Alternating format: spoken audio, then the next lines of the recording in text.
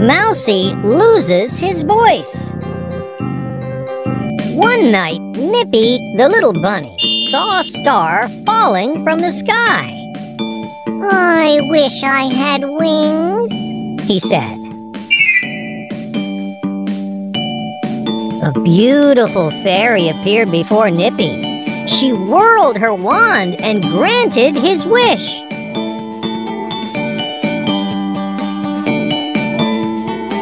Nippy's forelegs turned into wings and he flew into the sky. He was so happy. While flying, he saw a field of carrots. He wanted to eat them all. When he reached close, he saw a giant scarecrow. Nippy got scared and flew away.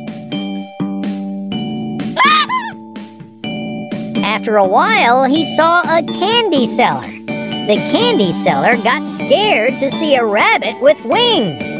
He picked up his stick. Nippy saw the stick and flew away.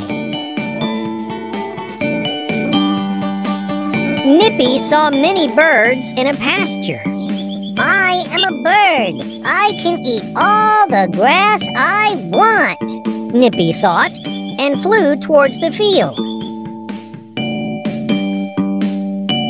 The other birds shouted at Nippy, Hey, you're not a bird. You are just a rabbit with wings. Go away. Nippy flew back home.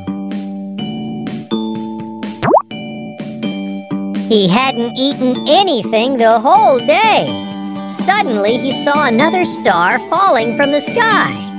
With teary eyes, he wished to be a bunny again.